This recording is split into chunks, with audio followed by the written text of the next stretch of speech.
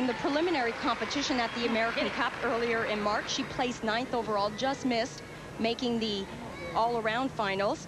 She considered that her first big international meet. You hear Coach Mary Lee Tracy in the background there says that Alyssa is a free spirit and she certainly can play on the uneven bars. This is beautiful work, has a great body line,